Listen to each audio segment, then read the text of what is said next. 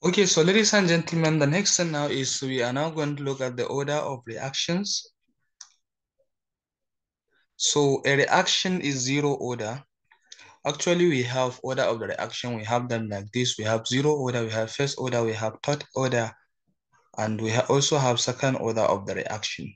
So now we are going to look at them one after the other. So a reaction is zero order in a reactant if the change in concentration of that reactant produce no effect. So if you now have a reaction and in that reaction, the change in the concentration of the reactant have no effects on the entire rate of the reaction, it means that the reaction is at zero order. For example, let's say you have A and B react to produce uh, C and D. So if increasing the concentration of either A or B have no effect to the overall order of the reaction, it means that that reaction is in zero order reaction. Meaning that the increase in the concentration of either A or B do not increase or do not increase the rate of the reaction. So it means that the reaction is in zero order. And a reaction is first order if doubling the concentration causes the rate to be double. So it means that if you double the concentration of A and the rate of the reaction is double, it means that the reaction is in first order. And then a reaction is in second order, is in second order if the doubling the concentration causes a quadruple increase in the reaction rate. When we said quadruple, it means that uh, four, that is if the rate of the reaction is increased by four times, so it means that the reaction is in second order. So it means that in a second order reaction, if the rate of the reaction is increased sorry, if the concentration of the reactant or product increases the rate of the reaction by quadruple, that is four times, it means that the, the, the it means that the order of the reaction is in second order. And then the third order. In the third order reaction, if doubling the reaction or if increasing the concentration of the reacting species or the reacting particles doubling the concentrations in that case leads to eight times increase in the rate of the reaction, it means that that reaction is in a third order of the reaction. And a third order reaction is extremely rare. It's extremely rare. When we say it's extremely rare, it means that it's used to be very, very difficult to have this kind of reaction. Okay. So now we are now going to look at the order of the action. So you see the order of the reaction, you see this number one. It means that the reaction is in zero order if you increase the concentration of this A, which is the reactant, but at the end there is no any effects there is no any effects in terms of the increase in the rate of the reaction. It means that the reaction is in zero order. Then the reaction is in is is is in first order. If increasing the rate of the reaction, uh, it also uh, double the rate of the reaction.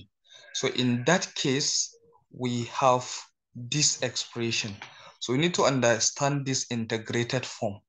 So for the zero order, we have concentration of A is equal to the initial concentration of the reactant minus KT. And then for the first order reaction, we have the differential form. So for the differential form, we have D of E, that is differential of concentration of A with time is equal to minus KT and the integrated form is ln concentration of A is equal to ln concentration of the initial substrate minus KT. So all these integrated form, we have to know them. We need to know them. It is very, very important because we are coming to the point where we'll be using this integrated formula to calculate some expression. Then for the second order reaction, remember in the second order reaction, we said that if by increase, if you increase the concentration of the reactant species and that leads to increase in the concentration, sorry, increase in the rate of the reaction by four times, it means that the reaction is in second order, and this is the integrated form. So we need to know all these formula that are very, very important because we are coming to the point where we'll be using them to do some calculations. So this one are all important and this one. Then for the second order reaction, sorry, for the third order reaction, this is the expression where we said that it's usually used to be very, very complex. So ladies and gentlemen, this is the case where we talk about the second order of the reaction and it's very, very important.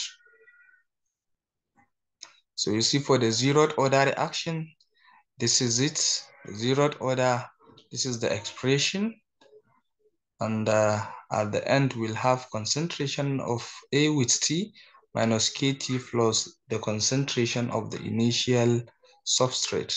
So this equation has the general form for a straight line. So it has a general form of a straight line.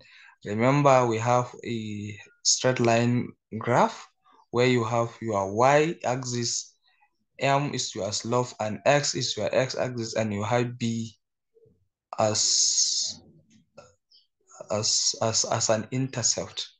So now what we need to understand here is our a of a with function of t is our y-axis, while minus k is our slope, and t is our x-axis, while a of the concentration of initial substrate is our intercept. So this is how it is. This is the graphical presentation. This is our y, this is our y-axis, the concentration of A with a function of t, and this is our x-axis with t, and we have minus k as our slope. Then for the first order reaction, or for the first order process, this is the expression, and we also have a graphical presentation of this. I look at it, but in this case, we have ln concentration of T and we have this minus KT. So we need to understand all these things. They are very, very important as we are going to use them in doing some calculation. And of course, this is the slope. And these are some examples. So we are going to look at these examples one after the other. But for now,